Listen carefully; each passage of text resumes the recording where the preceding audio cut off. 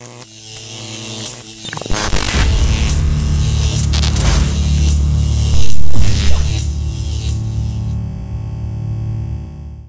uh, you know, I really challenged our group to just play harder, and I thought that the uh, the energy was a lot different than it was last night. Um, you know, so we're learning some of those tough lessons, and uh, it, it felt like we earned a chance to get a victory. Um, we don't want the moral victories, but that's a really good team. Um, give a lot of credit to to Lauren Zacharias. I mean, she put on a show. Um, we did a phenomenal job on the league's leading scorer, held her to 11, um, and Lozo stepped up, and that's what veteran players do. So a, a lot, a lot of good things to walk away. We out rebounded them. Um, we, we took 13 more shots than them. You know, so a lot of those things um, we can build off of.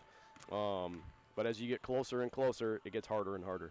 Yeah, we, we had three players in double figures, and we're always going to let Brooke shoot those shots. And I, you know, I thought even she made the last one, which was maybe the, the biggest one.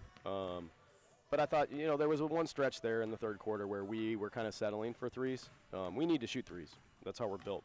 But uh, we also got to have a little bit of an identity about ourselves. Is when the shots aren't going in, how are you going to manufacture points differently? So you try to post people up and try and get in the paint. And I thought we really got back in the game by doing that. So uh, we'll learn from it. We'll grow from it. At the end of the day, they need a little rest. Um, you know, and I hope that they can go into uh, Christmas break understanding that we just played with one of the top teams in the league.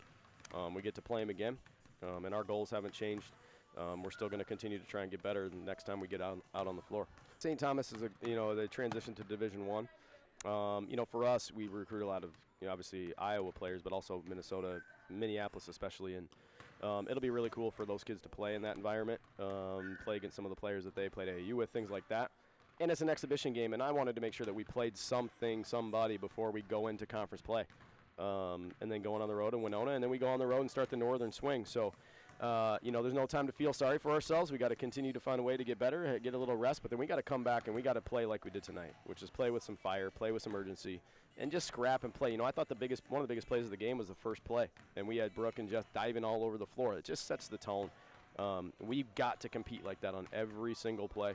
Um, so hopefully, when we come back, uh, that has not left the back of our in the fourth uh, to try to get this win. Hawk now trying to get a basket Got and it. do so. Lydia Hawk finally creates. Upper Iowa trying to get the ball inbounds. They're able to get it to Hawk. They need to put up a shot quickly. Shot clock down to 10. Huberty all the way down the left. Nice And head the finish. one. Also, Upper Iowa needs to go down, get some nice looks at the basket. Don't have to score necessarily quick. Hawk though is going to take that and, And one. one. There we go. Finish there from Lydia Pointer, I believe, at this point. Hawk now working up against Hammer. To go inside, puts it up off the glass. There we go.